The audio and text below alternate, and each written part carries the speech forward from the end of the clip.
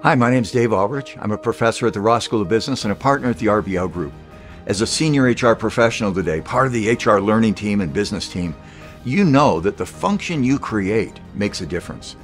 We've done research at the RBL Group for the last 20 or 30 years, writing books and studying. What do you need to know and do to create HR functional excellence so that your HR function will create value for all the stakeholders of your company? We have 10 criteria and actions you can take to build a great HR function.